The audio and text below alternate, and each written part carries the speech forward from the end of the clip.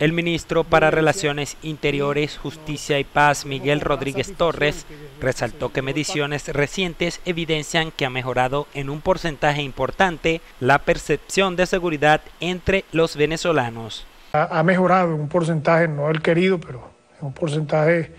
eh, respetable, la percepción de seguridad. Y la reducción real de los delitos para nosotros es un éxito en lo que llamamos de un año de patria segura.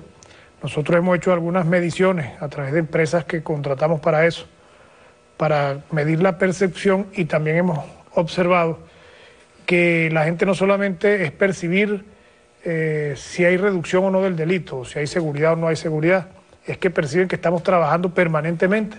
para mejorar la situación de inseguridad. Durante una entrevista con el periodista José Vicente Rangel, el ministro destacó que la cantidad de secuestros ha bajado 52% tras la aplicación del Plan Patria Segura y que el patrullaje inteligente registra una efectividad de 74% en el territorio nacional.